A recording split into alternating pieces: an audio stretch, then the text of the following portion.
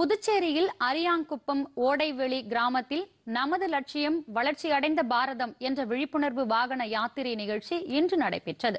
மத்திய அரசின் திட்டங்களை பொதுமக்களிடையே கொண்டு செல்வதற்காக நமது லட்சியம் வளர்ச்சி அடைந்த பாரதம் என்ற கருப்பொருளை உள்ளடக்கிய விழிப்புணர்வு வாகன யாத்திரை புதுச்சேரியில் உள்ள டிஎன் பாளையத்தில் கடந்த இருபதாம் தேதி தொடங்கி வைக்கப்பட்டது.